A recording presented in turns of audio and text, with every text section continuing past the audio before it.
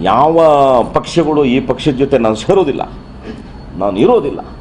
ನಾವು ಬಿಡೋದಿಲ್ಲ ಅಂತ ಅಂದವರು ಇವಾಗ ಹೆಂಗೆ ಮಾಡ್ಕೊಂಡಿರ್ಬೇಕಾದ್ರೆ ನಾನು ಗುರುಪ್ರಸಾದ ಒಂದಾಗೋದ್ರಲ್ಲಿ ತಪ್ಪಿಲ್ಲ ಅಂತ.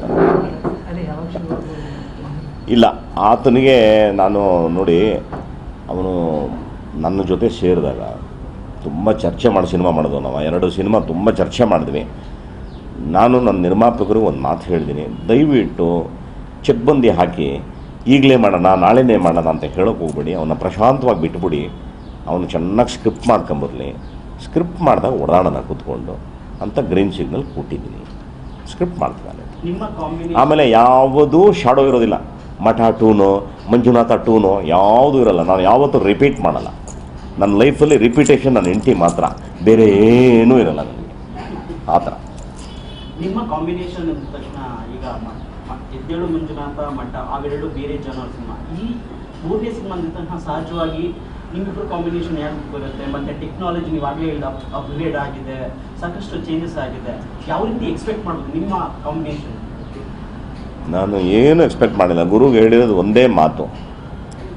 ಕಥೆನ ನಾನು ಕೇಳಿ ನನಗೆ ಖುಷಿ ಆಗಬೇಕು, ನಿನಗೂ ಖುಷಿ ಆಗಬೇಕು, ನಿರ್ಮಾಪಕರು ಖುಷಿ ಆಗಬೇಕು. ನಮ್ಮ ಮೂರು ಜನ ಫಸ್ಟ್ ಖುಷಿ ಆಯಿತು ಅಂದರೆ ಜನರಿಗೆ ಇಷ್ಟ ಆಗುತ್ತೆ ಅನ್ನೋ ನಂಬಿಕೆ ಬರುತ್ತೆ. ಸೊ ನಮ್ಮಲ್ಲಿ ಕೋಆರ್ಡಿನೇಷನಲ್ಲಿ ಎಕ್ಸೆಪ್ಟೆನ್ಸ್ ಸಿಗಬೇಕು ಅಂತ ಒಂದು ಸ್ಕ್ರಿಪ್ಟಲ್ಲಿ ಬಾರಪ್ಪ ಅಂತ ಹೇಳಿದ್ದೀನಿ already started is doing script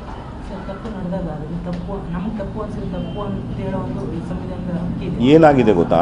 ನಾನು ಒಂದೇ ಒಂದು ಏನು ಹೇಳ್ತೀನಿ ಅಂದರೆ ನಾನು ಎಲ್ರಿಗೂ ಸೇರಿ ನಾನು ವಿನಂತಿ ಮಾಡ್ಕೊತೀನಿ.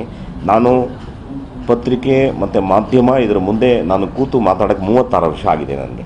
ಮೂವತ್ತಾರು ವರ್ಷದಿಂದ ಮಾತಾಡ್ತಾ ಇದ್ದೀನಿ ನಾನು.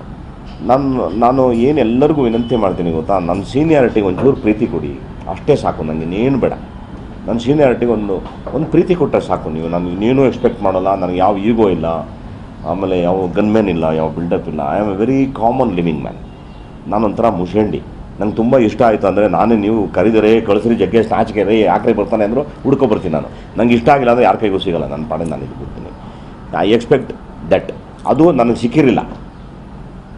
ನನಗೆ ಅದು ಸಿಕ್ಕಿರಲಿಲ್ಲ. ಈಗ ನಾವಿಬ್ಬರು ಕೂತು ಚರ್ಚೆ ಮಾಡಿದಾಗ ಅದು ನಿರ್ದೋಷ ನಿರ್ದೇಶಕನಾಗ್ಬೋದು, ಇವನಾಗ್ಬೋದು, ಇಬ್ಬರಿಗೂ ನಾನು ಹೇಳಿದ್ದಷ್ಟೇ. ನನ್ನ ಸೀನಿಯಾರಿಟಿಗೆ ನೀವು ಒಂಚೂರು ಪ್ರೀತಿ ಕೊಡಿ ಸಾಕು ನನಗೆ ಇನ್ನೇನು ಬೇಡ. ನಿಮ್ಮ ಕೆಲಸಗಳು ನೀವು ಮಾಡ್ತಾರೆ ನೋಡಿ, ಇವಾಗ ನಿರ್ದೋಷ ನಿರ್ದೇಶಕನಿಗೂ ನಾನು ಅದನ್ನೇ ಹೇಳಿದೆ. ನಿನ್ನ ಕಥೆ ಆಯಿತು. ನಿನ್ನ ಹಣೆವರ ಆಯಿತು. ನನ್ನ ಕೆಲಸ ಏನು ಅಂದರೆ, ನೀನು ಹೇಳಿ ಟೈಮಿಗೆ ಬಂದು ಕೂತ್ಕೊಂಡು ಅಂದರೆ I am very punctual man ನಾನು ಒಂಬತ್ತು ಗಂಟೆಗೆ ಬರಬೇಕು ಅಂದರೆ ಎಂಟು ಮುಕ್ಕಾಲು ಬರ್ತೇನೆ ನಿಮ್ಮ ಪ್ರೆಸ್ ಮೀಟ್ ಹತ್ತು ಗಂಟೆ ಅಂದಾಗ ನಾನು ಒಂಬತ್ತು ಮುಕ್ಕಾಲು ಕೆಳಗಡೆ ಕಾಯ್ತಿದ್ದೆ. ಯಾರು ಬರಲಿಲ್ಲ ಅಂದಾಗ ವಾಪಸ್ ಬಿಡೋದೆ ನಾನು ವೆರಿ ಪಂಚುವಲ್ ಮ್ಯಾನ್ ನಾನು ಬಂದು ಕೂತ್ಕೋದು ನಿಮ್ಗೆ ಏನು ನನ್ನಿಂದ ಪ್ರಯೋಗ ಮಾಡಿಸೋಕ್ಕಾಗುತ್ತೆ, ನನಗೆ ಹೊಸ ವಿಷಯ ಕೊಡಿ ಭಾಳ ಹ್ಯಾಪಿಯಾಗಿ ನಾನು ಕೆಲಸ ಮಾಡ್ತೀನಿ ಅಂತ ಹೇಳ್ಕೊಂಡು ಕೆಲಸ ಮಾಡೋವಂಥವ್ನು ನಾನು. ಆಯಿತು ಸಂಸ್ಕೃತಿ ಬದುಕು. ನಂಗೆ ನಗ್ತಾ ಬಾಳ್ಬೇಕು ಎಲ್ಲರ ಜೊತೆ. ಎಲ್ಲರೂ ಯಾಕಂದರೆ ಈ ಈ ಲೈಫೇ ಒಂದು ಬ್ಯೂಟಿಫುಲ್ ಲೈಫ್ ಇದು. ಇದರಲ್ಲಿ ಒಂದು ಈಗು, ನಾನೇನೋ ಸಾಧನೆ ಮಾಡಿದ್ದೀನಿ, ನಾನು ಅವನ್ನ ಹಗ್ಗಿಸಿದ್ದೀನಿ ಇದೆಲ್ಲ ಏನು ಗೊತ್ತಾ, ಒಬ್ಬ ಮನುಷ್ಯನ ಮೇಲೆ ಮಾನಸಿಕವಾಗಿ ಅವನ್ನ ಕುಗ್ಗಿಸುತ್ತೆ ಮತ್ತು ಅವನ ಒಂದು ಸಕ್ಸಸ್ ಕಡೆ ಹೋಗೋದನ್ನು ತಡೆಯುತ್ತೆ. ಹಾಗಾಗಿ ನಾನು ಎಲ್ಲರಿಗೂ ವಿನಂತಿ ಮಾಡೋದು ಜಸ್ಟ್ ಲಾಫ್ ಬಿ ಹ್ಯಾಪಿ ಚೆನ್ನಾಗಿ ಎಂಜಾಯ್ ಮಾಡಿ ಲೈಫ್ನ ಪರಸ್ಪರ ವಿನಿಮಯ ಮಾಡಿಕೊಡಿ ಒಳ್ಳೆ ವಿಷಯ ಮಾತಾಡಿ. ಕುಂಕುಮಾತ್ ಬೇಡ, ಅಣಕ ಬೇಡ. ನಿಮ್ಗೆ ಹಂಗೆ ಅನಿಸಿದ್ರೆ ಸಿಗಬೇಡಿ ಯಾರ ಕೈಗೂ ನಿಮ್ಗೆ ಚೆನ್ನಾಗಿದೆ ಅಂದರೆ ಮಿಕ್ಸ್ ಆಗಿ. ಇದನ್ನೇ ನಾನು ಎಲ್ಲ ಡೈರೆಕ್ಟರ್ಸ್ಗೂ ನಾನು ಹೇಳ್ಕೊಡೋದು.